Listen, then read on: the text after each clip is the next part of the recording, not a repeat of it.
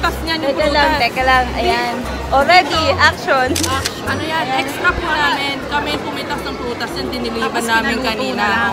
Oh, ayan. Pinaluto. Pinaluto nyo. Kaya 3 plus 3 plus 1. Ayan. 3 plus 1. Guys, huwag kayo naniniwala sa mga yan, ha? mga nakatira yan. ano ba tinitira nyo? Lang te? Nutella. Nutella. Nutella. Nutella. Nutella. Nutella. Oo, Belgium eh. Nutella, te. Nutella.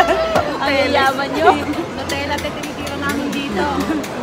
Once a month lang po yan yung ganyan, yung kape-kape. Once a month lang po. once in a convincing na convincing kayo ah. Once in a month. Oo, kasi mahal eh. Mahal po, mahal. Mahal? Gano'n ka mahal?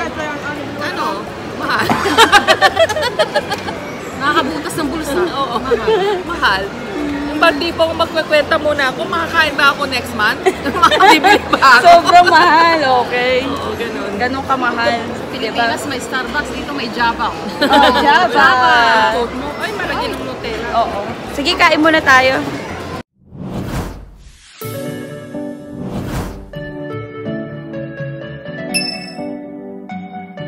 Hello guys, Ah, ito yung part 2 ng ano namin na ah, paano maghanap ng trabaho dito sa Belgium. So, meron akong dalawang kaibigan. Seryoso to, ibibigyan kayo ng tips kung paano sila nakahanap ng trabaho dito sa Belgium.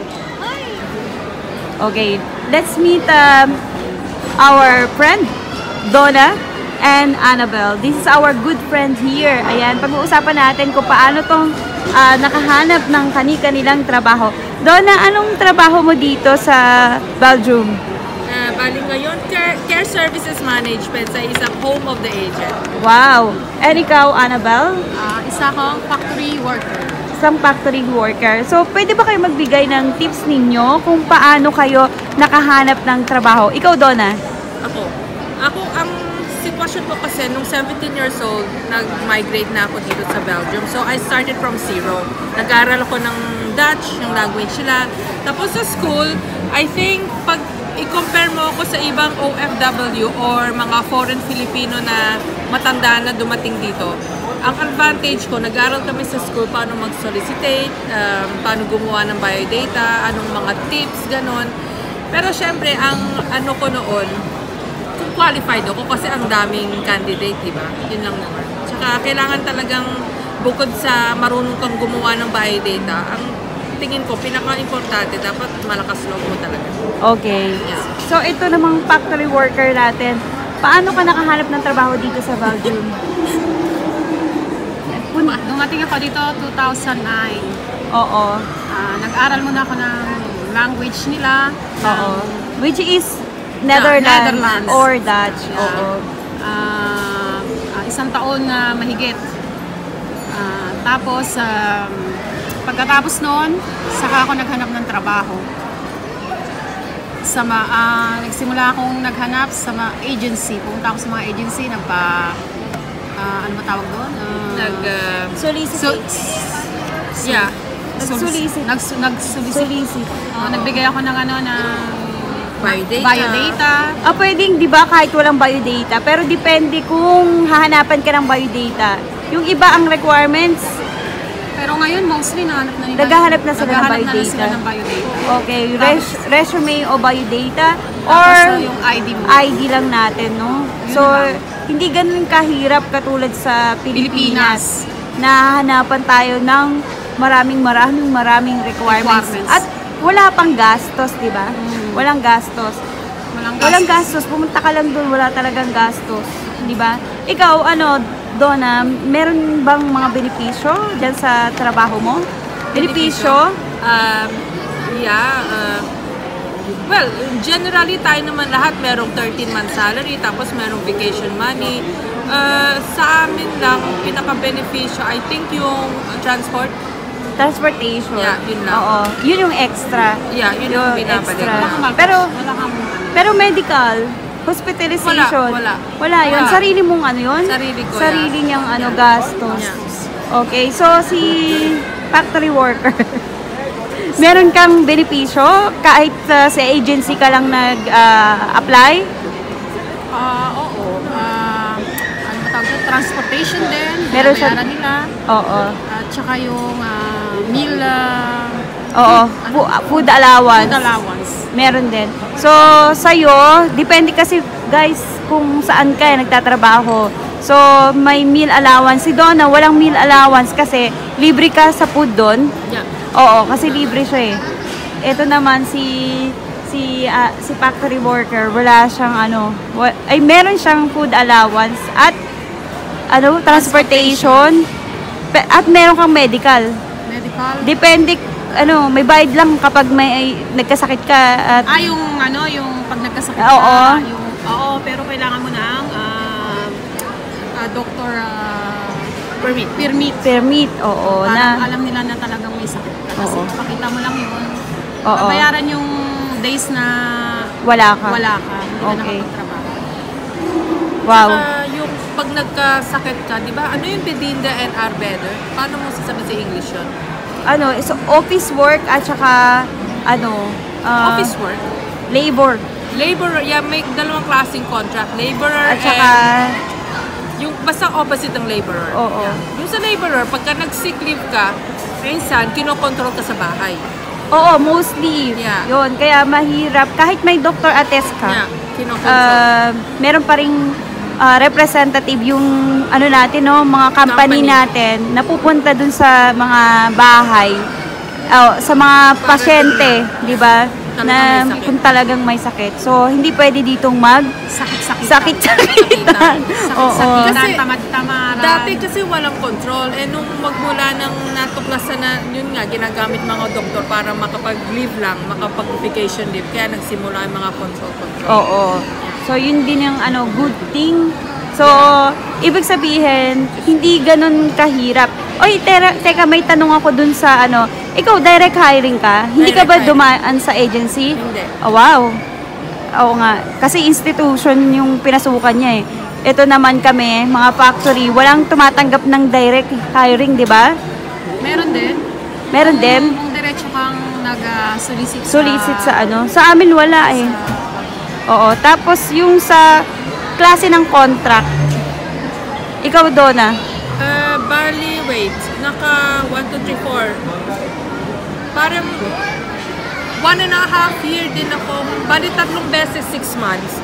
Tsaka ako binigyan ng permanent contract. Oh, so ano, one and a half year bago ka magkaroon ng contract. Eh, sa'yo, kailan mo malalaman? sa Ako, agency? Bago lang ako. Pa lang ako sa bagong trabaho. Oo. Kontrata ko every week. Over every week. So, yun lang po, sa agency, hindi talaga ka mabibigyan agad ng anong tinatawag nitong monthly contract, 3 months o 6 months. Depende lang yun kung kailangan ka ng kumpanya, di ba? At kung maganda yung performance, Performance mo, mo. pwede ka talagang ma-retain dun sa trabaho mo. Oy guys, ano naman ang magbibigay ninyong tips sa kanila dun sa mga bago nating mga immigrant dito sa Belgium, lalo na yung mga bago, anong anong mabibigay yung ano ah, magandang hakbang moves sa kanila para maka, madali yun silang makahanap ng trabaho. Pabayaang maunahan ka ng takot. Kahit na barok-barok pa yung Netherlands mo, kaya Dutch, pakita mo na gusto mo talaga magsalita. Oo. Kasi yan ang ina-appreciate ng mga Belgian. Oo. Yeah. Yun, tama yun. Sabi niya na. Oo. Lakasan mo yung loob mo. Oo. Tsaka pakita mo talagang gusto mo maka, magkaroon ng trabaho. Oo. Yeah. Oo. Kasi tayo naman Saka, ah, aralin din yung language nila. Oo. Kahit basics lang yung Oo. Ayun. Kahit barok-barok, barok. Yeah. mas appreciate nila na Talagang ano ka, ah, sincere ka. yeah. sincere. Tsaka ano naman, wag mo naman silang abusuhin dahil hindi naman silang ibig sabihin uh, kung okay naman lahat, uh, on time sila magbayad ng Oo, wala tayong problema no Wala. pagdating sa Yeah. sweldo. Wala, talagang. Yeah. walang ano ah, delay Yeah. no. Tsaka walang sa- sasabihin na wala silang ipapasweldo. Yeah, Laging may ganun. sweldo. Walang ganun Kaya dito. yun yung maganda dito. So talagang meron kayong ipapakain sa pamilya ninyo kapag nandito kayo at meron kayong trabaho. Yeah. Maraming maraming salamat sa inyo mga Inday. Kaya hindi kami dito nga nurse. Bye. Nga nurse. Bye! O sige na, mga Inday. Hello. Kamusta ang play day nyo? Ayan. Hello. Ganito po Ayan. kami mag, magkape dito. Oo, siyempre pag may pag may break, ah, pag may pag may vacation, tignan nyo, oh, naglalakihan na ang mga tasa, ang mga baso, ng mga inday. Sa Pilipinas, kutsara pinagahalo dito. Nakita nyo? Mahirap na kami. Walang kutsara dito. Walang Pagkatapos, ng kape, pwede pa bastos ka talaga. Bayo, bayo. Bayo. Biodegradable po, recycle. Recycle. Sira. Ayan ang mga Pwede i-recycle. Nandito na naman po ang mga bayo. Man. Alam na. bayo. Recycle mo. Ini-recycle mo. Recycle to. Bukas nandyan na naman. Kailangan sulitin i-recycle. Ito po cake namin, mahirap lang po kami. Ah, ayan po yung ano namin, hapunan na po namin yan. Ito lang po ang board namin. Oh, yan po ang report namin. At saka 3 plus 1. 3 plus 1. Oh, 3 plus 1. Ito po yung mga prio. May lotus, may Oh, baba. Ikakahon ho namin. Ang kadala sa Pilipinas. Pag nakatanggap kayo ng mga ganito, spikulos, sa box, uh, free-free. alam niyo na kung saan namin kinuha. yung mga asukal. yung mga asukal po na pinapadala namin. Ayan po, galing po talaga yan dito. Ano? Pati yung gatas. Inuipon po namin yan dito. Ganyan po kami kasino. Wala po kami sinasayang. Bawal daw magsayang. Ganyan. Matay. Ganyan dapat. Mamamatay naman ako sa inyo nakakatawa. Ito po pala yung- Nagdi-day off yung mga inday. Ganito magkape ang inday. O sige, paano uminom? okay. Nilalanghap. Mainit tayo, mainit. Nilalanghap po. Once once a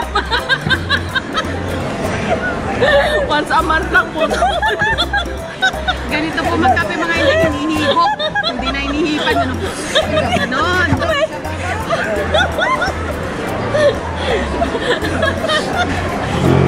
Mali.